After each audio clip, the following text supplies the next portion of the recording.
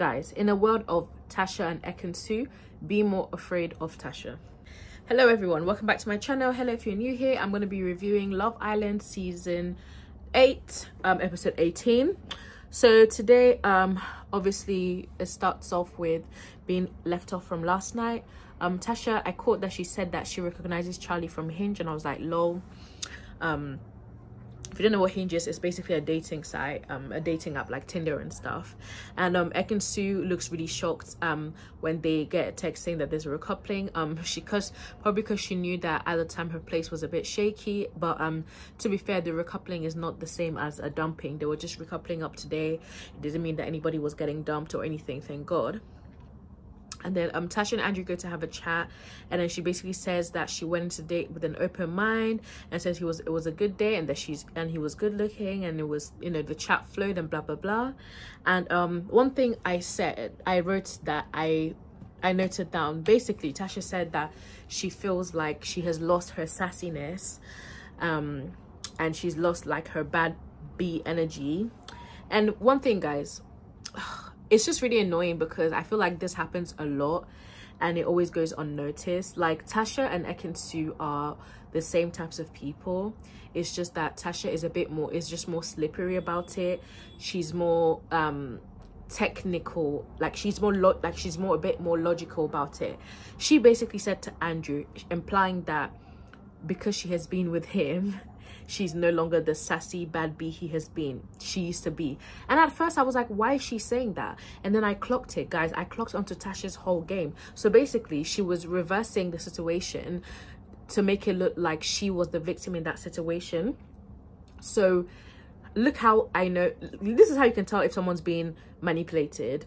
So you you're the one who's annoyed right? You have a conversation with a person who is annoying you and then all of a sudden they're the ones annoyed at you and you're like apologizing to them. That is literally what happened in this episode. It started off with andrea on smoke andrew being annoyed and by the end of it andrew was the one you know like stroking her trying to make her feel happy you know the one feeling sorry that is like next level manipulation. Like you guys maybe i'm reading too deep. No in fact i'm not reading too deeply into this. I know exactly what i'm talking about. I know many kinds of people like tasha and what she that's exactly what she did guys. So she said that she feels like she's not her sassy self anymore. I don't know if we've been watching the same love island but i had never really saw a sassy side to tasha not gonna lie. I know we don't see everything in a day but you get to get a real sense of people instead of the uh, if to be honest what I have seen of Tasha is that I do think she's a bit of a people pleaser. I think she's a bit of a game player. And I've been able to summarize this the whole time I've been watching Love Island. Antigone then has a little chat with Jay. Um, Antigone, I don't know what's happened to her. She came in as a bombshell. Everyone loved her vibe. All of a sudden, we don't hear from her anymore. I feel like when you go in as, as a bombshell, you can't just become like a side character. Like, I just felt like she could have, you know, just grafted a bit more like you know because that's your bombshell. Like when you come in as bombshells um even if in the real world you don't chase guys in love island it's not the real world. Um it's you're in a bubble. So i felt like antigone should have done more grafting. It kind of felt like she just went into the house and disappeared. I don't know. I just thought it was a bit weird. And i'm so surprised because i thought that antigone and jay had a vibe. I don't know where this love for paige is coming from. I'm really really confused I really thought Jay and Antigone were vibing. Anyways, um, Luca's talking to Andrew and he's saying like, how can one hot top date change her mind about you? Which is true. So basically, Luca is on Andrew's side and he's like thinking that, you know, Tasha's playing games and stuff. And then Tasha goes to have a chat with Charlie and then she says, oh, guys, guys, I can't take Tasha seriously. I'm so sorry. She says, um, you, the ball's in your court what do you mean the balls in your courts? So basically she was saying like to um charlie i'm not going to tell you what to do but if you want me you can have me that's basically what she said. Like guys you guys need to wake up. Anyone who's feeling sorry for tasha or anyone who thinks that like you know she's the victim in this situation you guys need to open your eyes and realize that tasha is just very very schemy and slippery. People like that they know how to get into people's minds because that's exactly what she's doing right now. She's getting into people's mind. And i know it might sound like harsh but it's the truth. You know what she gives me? She gives me lucy vibes. Lucy from season five that's the kind of vibe that tasha gives me. You know they'll get upset they'll cry they'll guilt trip you but really and truly they're playing a game. Anyway so when she said that she was basically telling him um like do what you want kind of thing like basically saying she's open. If she wasn't interested she'll say nah you know what? I'm more interested in thingy do you know what I mean? Like she didn't shut it down. There's a problem. You're not shutting it down. You're not exactly leading it on. You're leaving the door a little bit open. Like it's a it's an issue, guys. I just want Andrew to wake up. This is why nice guys finish last. Because they're not even nice, they're just slow. like I've just they're just slow. You can be a nice guy or you can just be a slow. Like Andrew is being slow literally people are telling you the same thing not everybody is crazy luca has told you dami has told you yourself your gut feeling has told you that you're being played but you decide to stay in situations where you're being played. This is why people get played. Honestly guys i can't. I actually can't. It's too much. Like what this happens in real life. So watching on tv it's a lot. Like he does she does not care about him. And i know it's difficult to walk away but sometimes you just have to you know be the bigger person and tell yourself you know what? I'm not gonna be a mug. But i feel like andrew's being such a mug right now and i just want to tell him wake up. But you know what? Whatever so the guys are on Andrew's side and um, they're basically saying that Tasha's trying to play him and then it's time for the recoupling. Um, so everyone chooses, Luca chooses Gemma obviously. Um, the only people who were surprising were, um, so Jay chooses Paige. I guess we saw that coming. Jax looked like he was angry and I was thinking, what do you think was going to happen when you were basically saying, take her, take her, take her. What do you think was going to happen? Now your girl's been taken. Anyways, um, Jay chooses Paige. Um, Luca chooses Gemma, obviously. And also, I put that this down as well. You know that thing um, Luca always says when he's like, elephant juice? Ooh, I find that so cringy. I'm so sorry. I really can't stand that. I know it's a joke. It's meant to be like, I love you, but it's like, elephant juice. I just, ooh, sorry, it's just not a bit of me. India and Dami finally get to be coupled up together properly. They can be a real couple, share a bed together, all of that shebang. And um, so Jay, um, no, not Jay, Charlie picked Ekin-Su. I didn't see that coming. I didn't know why Charlie picked Ekin-Su. I thought Charlie was going to pick Tasha.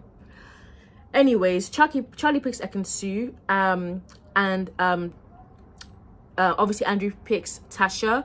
Davide picked Antigone. And I felt so sorry for Danica. I kind of wanted Danica to move mad because, you know, two days ago, or no, not two days ago, yesterday, Davide was eating her face off. And today he's you know, picking someone else over her. If I was her, I'd be a little confused and I'd be like, why did you do that?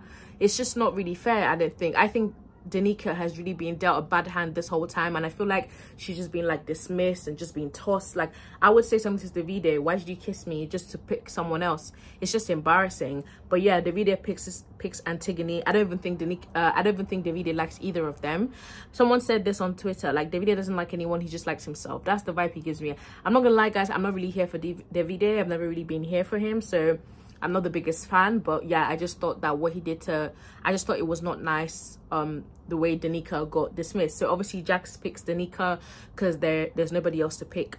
So um, before they left, Tasha was like, why is everyone rolling their eyes, blah, blah, blah. And then Luca and Dami basically have a chat with her and tell her that they try to explain themselves and they tell her that you know it seems as if she's settling for andrew because she's ready to know everyone who comes in. And she's like oh well i don't want to say anything anymore because my my words keeps getting twisted up. And they're like well we haven't twisted anything you've said. We're literally repeating what you said. You said if um andrew got dumped you would go home with him and all of a sudden now you want to get to know a new guy. So they're getting onto her. And i feel like this is what i noticed guys.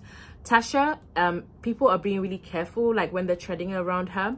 If, if that was Ekin-Su, Jax will be screaming across the room, calling her a headache, calling her a game player. But because it's Tasha and she has carried herself like this really like sweet girl, harmless girl, everyone is like treading around her. Like guys, I don't think you guys understand like it's so deep and I, don't want to go too into it because I know at the end of the day this is just Love Island but at the end of the day we're seeing real types of people here and like people like Tasha are just the type of people that could fool everyone and you would you know can always make themselves the victim. Like i just can't get over the fact that the episode started off with andrew being mad at her and it ended off as andrew basically being apologetic towards her. Like if that's not manipulation i don't know what is. Like you guys like it's so deep. It's so deep. I don't even want to i don't want to be too passionate about it.